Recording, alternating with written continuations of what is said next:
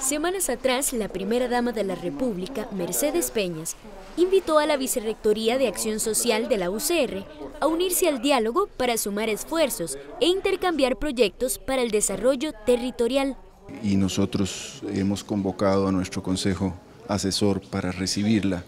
Ella tiene a su cargo el desarrollo territorial de, de nuestro país en el despacho de la primera dama y ha solicitado a propósito de sus responsabilidades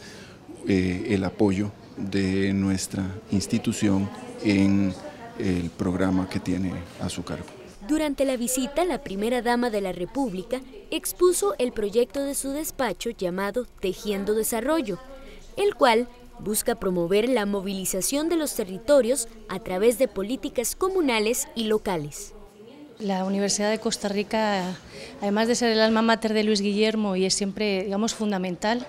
todas las universidades públicas y concretamente la UCR, si queremos programar eh, desarrollo en los territorios, y yo creo que puede apoyar y también contribuir a generar muchas más capacidades en los territorios en los que queremos trabajar. De la misma forma, la Vicerrectoría de Acción Social presentó ante la primera dama dos proyectos de la UCR, uno sobre extensión cultural en el cantón de Alajuelita y el otro sobre territorios seguros implementado en Guapiles.